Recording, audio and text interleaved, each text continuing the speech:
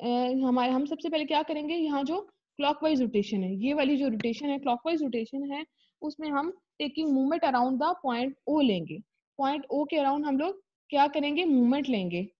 ठीक है, ये हमारा पॉइंट ओ है, इसके अराउंड हम क्या लेंगे मूवमेंट लेंगे।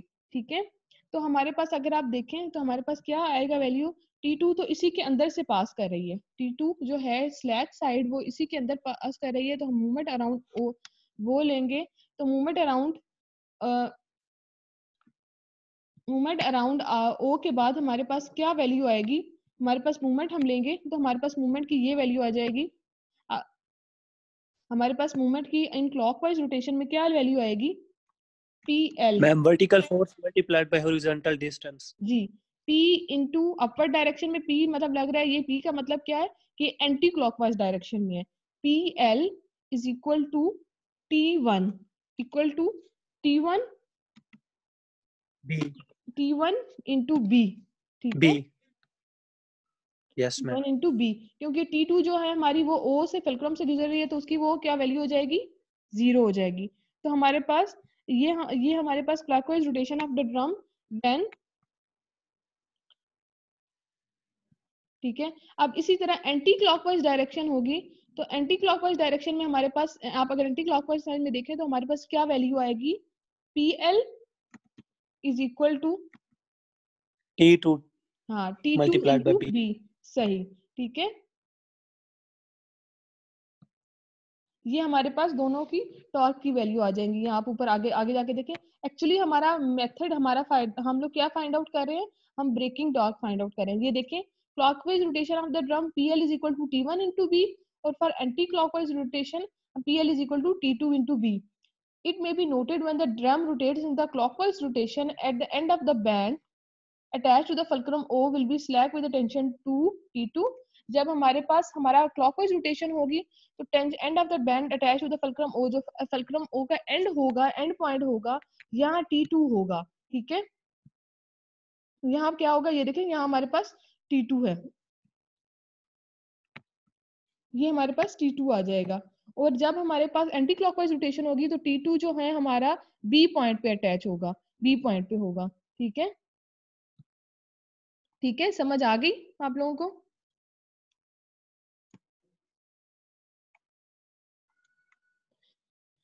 ठीक है बेटा समझ आइए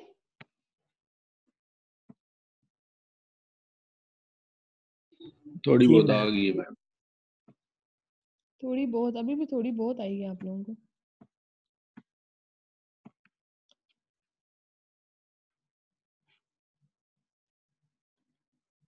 अच्छा अब हमारे पास नेक्स्ट क्या है?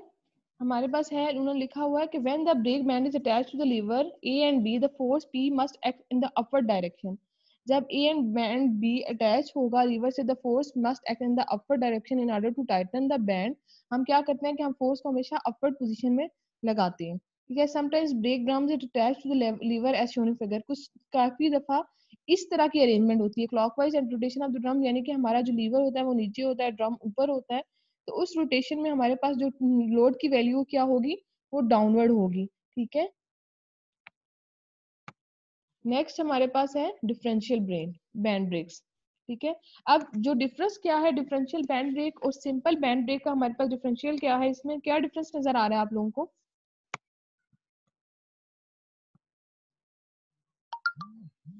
इससे क्या डिफरेंस नज़र आ रहा है? डिफरेंशियल बैंड ब्रेक का आप लोगों को?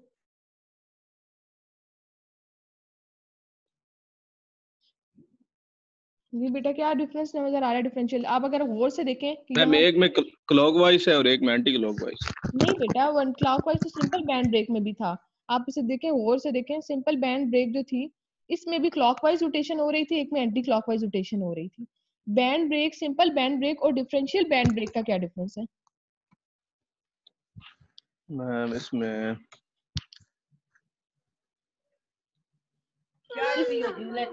इसमें हमने एक ये देखें एक हमने हमने क्या किया इसमें सिंपल ब्रेक में एक एक्सटेंशन दे दी है। डिस्टेंस दे दी है एक्सटेंशन प्रोवाइड कर दी है। अब आप ओ पॉइंट से देखें यहाँ एक एक्सटेंशन प्रोवाइड कर दी है हम लोगों ने। ए एक ए डिस्टेंस दे दी है।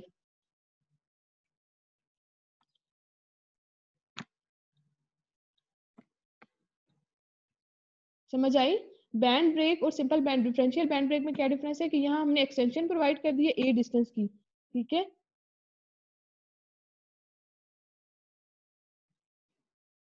हमने क्या एक, किया? एक बार फिर बता सिंपल बैंड ब्रेक और डिफरेंशियल बैंड ब्रेक में ये डिफरेंस है कि हमने एक एक्सटेंशन दे दिया है।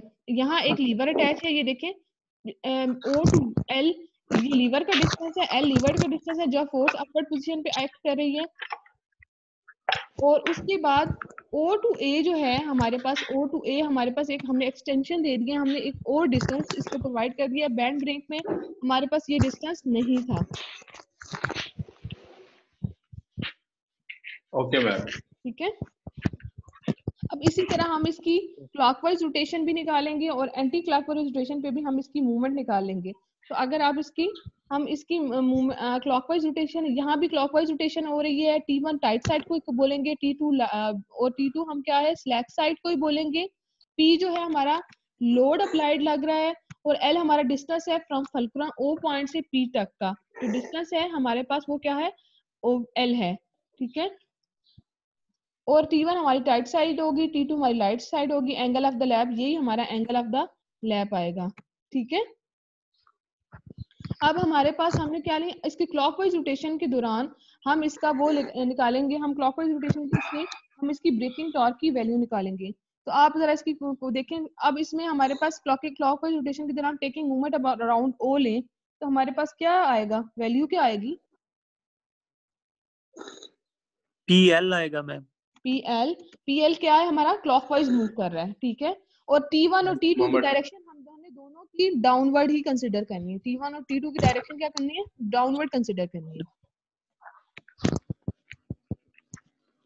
टी वन और टी टू की डायरेक्शन हम लोगों ने डाउनवर्ड कंसिडर करनी है। टी टू की डायरेक्शन भी डाउनवर्ड कंसिडर ठीक है?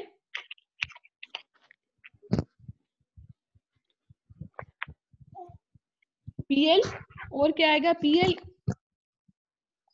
plus T two A plus T one B plus T one B T one B minus T two A हाँ minus T two A is equal to zero जी। ये आप लोग देख के तो नहीं बता रहे वहाँ से? नहीं मैम ठीक है। अब इसी तरह एंटी क्लॉकवाइज रोटेशन में क्या होता है कि स्लैक साइड और जो टाइट साइड है वो मूव कर जाती है। टी वन की जगह पे टी वन इस साइड पे आ जाएगा क्योंकि हमारी रोटेशन जो है, जब हमारा ड्रम एंटी क्लॉकवाइज रोटेशन में मूव करेगा तो हमारी टाइट साइड होगी ए पॉइंट वाली जगह पे हमारी टाइट साइड हो जाएगी और टी वाली जगह पे हमारी स्लैक साइड हो जाएगी, ठीक है? अब इसका हम मूवमेंट लेते हैं। हम इसकी मूवमेंट की जरा वैल्यू लिखते हैं। क्या आएगी वैल्यू मूवमेंट की इसकी? P into हम इस क्लॉकवाइज फोर्सेस को पॉजिटिव ले रहे हैं यानी वर्टिकल फोर्स ये P वाली और multiplied by horizontal distance L P है। जी हम जो क्लॉकवाइज फोर्सेस हैं हम उसको पॉजिटिव ले रहे हैं और एंटी क्लॉकवाइज को नेगेटिव ले रहे हैं। आप एंटी क्लॉकवाइज को पॉजिटिव ले सकते हैं। इससे तो बेटा कोई डिफरेंस नहीं होता। यस मैम जी मैम तो आप अगर हम लोग देखें तो हमारे पास क्या है? हम एंटी क्लॉकवाइज डायरेक्शन जब लेते हैं तो पी पी इंटू एल हमारे पास क्लॉकवाइज डायरेक्शन में है। और T two B T two B भी हमारे पास क्या है? पॉजिटिव डायरेक्शन में है। T two B is equal to हमारे पास नेक्स्ट क्या है? टी वन ए लिख देते हैं। यानी कि नेगेटिव डायरेक्शन में लिख देते हैं टी वन ए ये हमारे पास एंटी क्लॉकवाइज रोटेशन की वैल्यू आ जाएगी। ठीक है?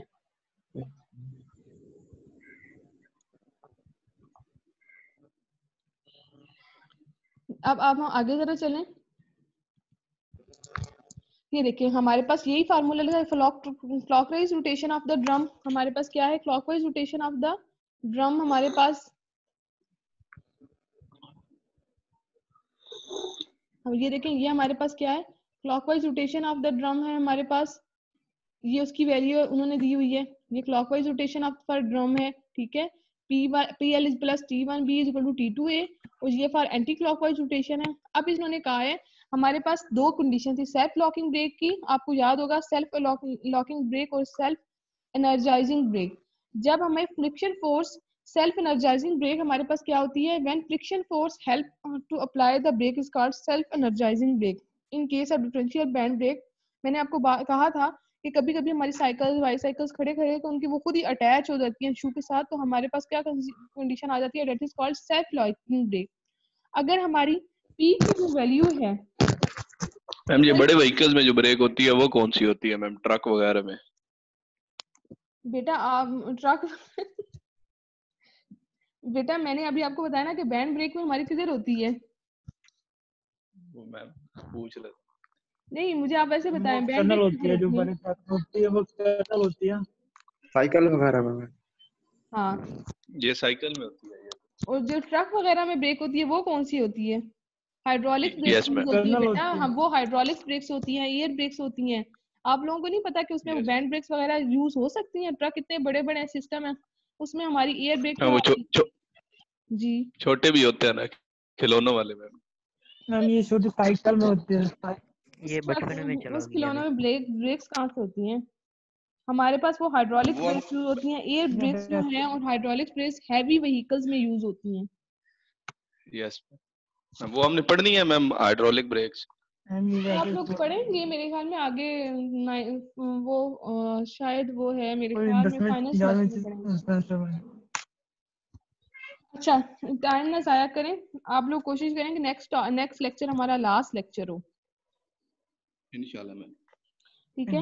मैम यही सेल्फ लॉकिंग ब्रेक में हमारे पास अगर पी जो हमारे पास फोर्स की वैल्यू है आपको पता है हम सेल्फ लॉकिंग ब्रेक में सेल्फ एनर्जाइजिंग और self locking brake self locking brake में हम लोग क्या चाहते हैं कि हमारे पास अगर कोई फोर्स एक्ट ना करिए फोर्स की value P zero P equal to zero या पी हमारे पास पी की वैल्यू ज़ीरो से कम हो यानी कि कहीं फोर्स अप्लाई ना कर रहे हो तो हमारे पास क्या कंडीशन आ जाएगी? हमारे पास क्या कंडीशन आ जाएगी कि पी अगर ज़ीरो है ये वाली, इस वाली क्वेश्चन को लेंगे। पी की वैल्यू अगर आपके पास पी की वैल्यू जो है, वो ज़ीरो है। ये देखें, ये वाली इक्वेशन आप पुट करें, इसमें पी की वैल्यू ज़ीरो होगी तो T one A minus T B is equal to zero तो T two B is equal to T one A आ जाएगा हमारे पास। क्या आ जाएगा?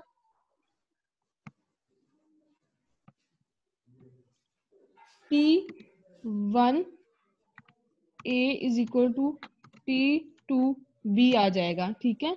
देन आगे हमारे पास क्या होगा कि T one over T B T one divided by T two equal to A over A divided by B आ जाएगा। ये वाली वैल्यू आ जाएगी हमारे पास। ठीक है? अब उन्होंने कंडीशन क्या दी है कि T two over T one is less than and equal to B over A T two over T one की जो वैल्यू है वो हमारी हमेशा less than and equal to B A होनी चाहिए for anti for clockwise rotation और for anti clockwise rotation हमारे पास टी वन और ये मैंने एंटी क्लॉकवाइज रोटेशन की वैल्यू निकाली थी।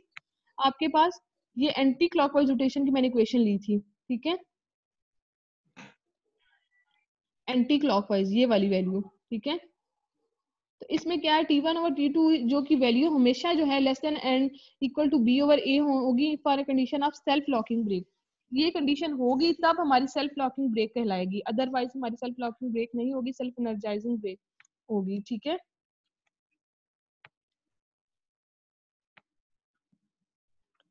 ठीक है? समझ आ गया?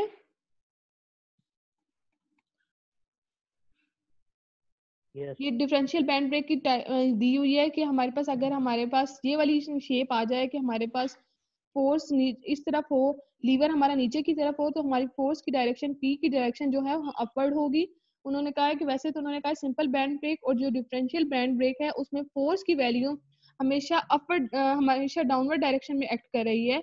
लेकिन जब हमारी ये वाली कंडीशन आएगी, ये वाली शेप आएगी तो उसमें हमारे पास जो फोर्स की वैल्यू है, वो अपवर्ड पोजिशन में एक्ट करेगी। ठीक है? देन हमारे पास है बैंड एंड ब्लॉक ब्रेक ठीक है? बैंड एंड ब्लॉक ब्रेक भी हम, आप उसको देखें तो गौर से देखें बैंड ब्रेक भी उसी तरह की है कि हमारा ओ से पी तक का लीवर एल का डिस्टेंस है मतलब पी तक डिस्टेंस है, और बैंड ही लगे हुए हैं इसमें लेदर के बैंड बने, लेकिन इसमें इन्होंने क्या है, क्या कि ब्लॉक्स ऑफ़ वुड को हमने इंट्रोड्यूस करवा दिया। ये वन टू थ्री ये जो आपके पास पॉइंट्स नज़र आ रहे हैं, आपके पास ये जो पॉइंट्स नज़र आ रहे हैं वन टू और थ्री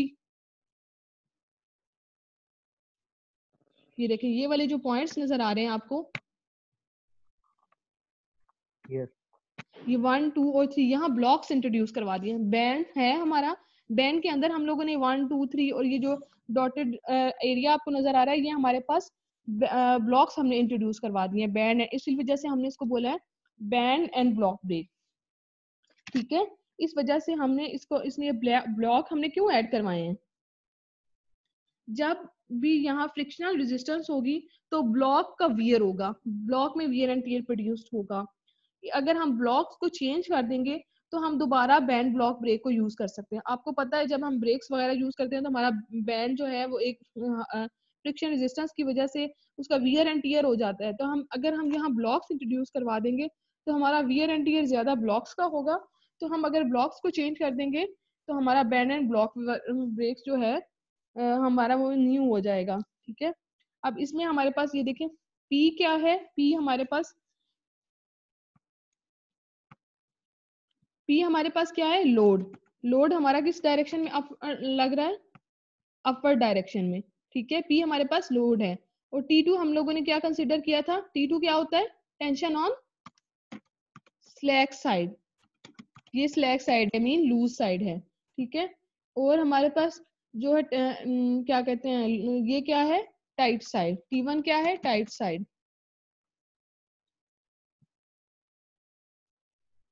ठीक है?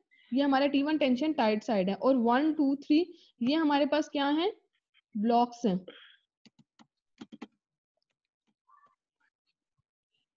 ठीक है? और आर वन आर अब हम हमारे हमने ये नीचे एक पिक्चर ले ली है ब्लॉक की। एक हमने अब हमने कंसिडर क्या किया कि हमारे पास अगर हम एक वन ब्लॉक ले लेते हैं हम एक वन ब्लॉक को कंसिडर करें उसमें हमारे पास देखें अगर हम आ, हमारे पास एक ब्लॉक ले लिया है तो एक ब्लॉक पे हमारे पास साइड पे ये हमारे पास रिएक्शन फोर्स आएगी। एक टी वन होगा और एक टी वन डैश होगी, ठीक है? और इसका जो कोफिशियंट ऑफ़ एंगल होगा, यहाँ हमारे पास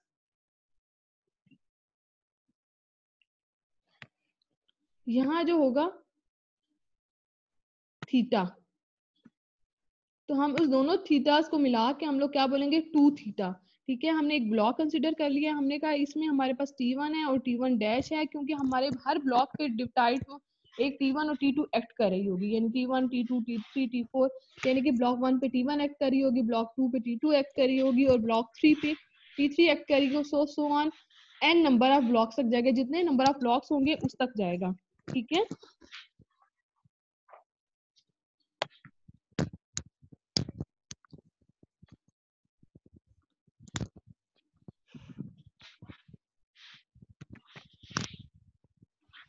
अब ये है tension in the tight side T two tension in the slack side और टी वन डैश क्या है? Tension in the band between first and second block T one dash क्या है?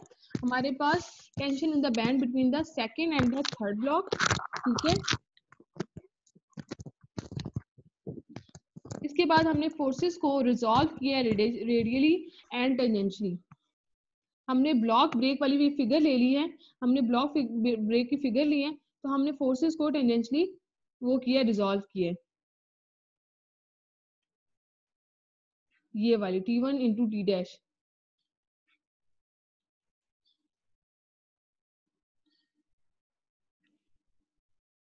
ये आप मलिक शराज बेटा आप किधर आए हो जरा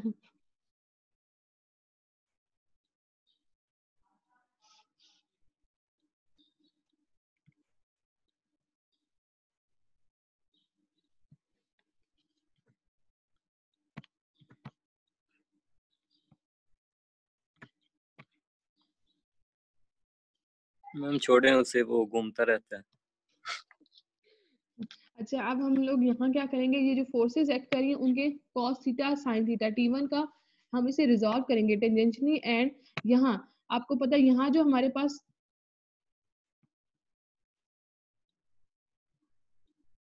टी वन आप अगर इसे देखें तो T one cos theta cos theta मैं ऐसे लिख रही हूँ, ठीक है? और ये क्या है? जो नीचे हमारे पास एरो आएगा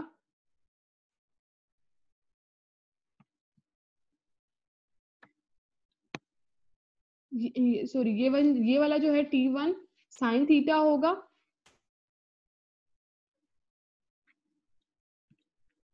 ये देखें, यहाँ थीटास की वैल्यू है तो ये हमारे पास जो है टी वन हमारे पास दो आएँगे T one cos theta and T one sine theta जी बेटा। हमारे पास टी वन और कॉस थीटा और साइन थीटा आएगा ना?